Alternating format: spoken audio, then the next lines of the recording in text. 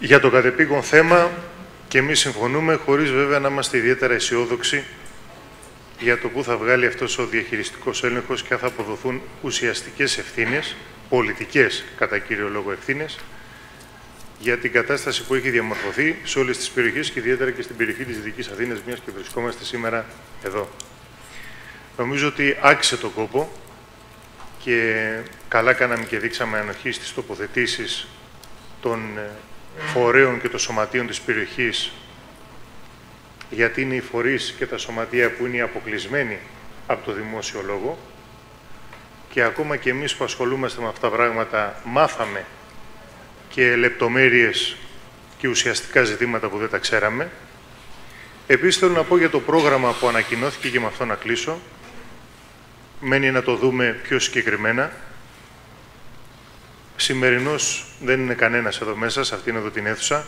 Έχουμε όλοι κάμποσα χρόνια και τέτοιες εξαγγελίες έχουμε ακούσει πολλές. Α σας πω ιδιαίτερα για τη Δυτική Αττική, όσοι ασχολούμαστε με τα κοινά στη Δυτική Αττική, τις προηγούμενες δεκαετίες και τα προηγούμενα χρόνια, αυτές οι εξαγγελίες είχαν και μία λέξη που τη συνόδευε. Λέγονταν αντισταθμιστικά. Ήταν τα αντισταθμιστικά για να έρχονται εδώ πέρα όλες οι ρηπογόνες δραστηριότητες και ιδιαίτερα η μεγαλύτερη της Ευρώπης, η συνέχιση της χωματερής του ΧΙΤΑ και της ΟΕΔΑ, της Ολοκληρωμένης Εγκατάστασης Διαχείρισης Απορριμμάτων της Αττικής. Και πολύ περισσότερο επειδή και ο εθνικός σχεδιασμός προβλέπει ότι στην περιοχή θα έρθουν όχι μόνο οι ήδη υπάρχουσες ρηπογόνες δραστηριότητες αλλά θα έρθει και η αντίστοιχη μονάδα του κεντρικού τομέα, η αντίστοιχη μονάδα του βόρειου τομέα, η αντίστοιχη μονάδα του νότιου τομέα. Σε αυτήν εδώ την περιοχή, τα, τα, τα περιβόητα αντισταθμιστικά πάντα ήταν έτσι, όπως λένε και εδώ στις περιοχές μπαμπάτσικα, μοιάζανε πολλά στο... Δεν πηγαίναν όμως στους κατοίκους. Εδώ έχουν μοιραστεί πάρα πολλά εκατομμύρια, θυμούνται και οι παλιότεροι, δισεκατομμύρια έχουν μοιραστεί εδώ περιοχή, όχι φυσικά για τους κατοίκους.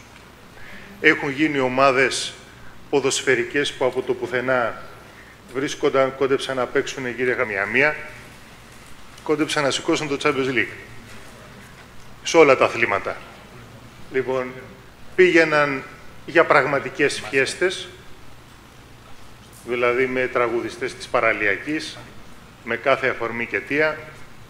Έβλεπω και το Δήμαρχο των Άνω Λιωσίων, ήρθε σήμερα εδώ δεν έχει έρθει. Λοιπόν, ε, ας ελπίσουμε ότι και αυτό το πρόγραμμα να μην εντάσσεται στα περιβόητα αντισταθμιστικά που τα έχουμε ζήσει εδώ στην περιοχή και ακούσατε πάρα πολύ χαρακτηριστικά από τους φορείς που έχουν οδηγήσει αυτά τα αντισταθμιστικά, τεράστια ποσά εκατομμύρια στις τσέπες λίγων και η περιοχή σε μια πραγματικά επικίνδυνη κατάσταση να ζεις και να μεγαλώνεις τα παιδιά σου.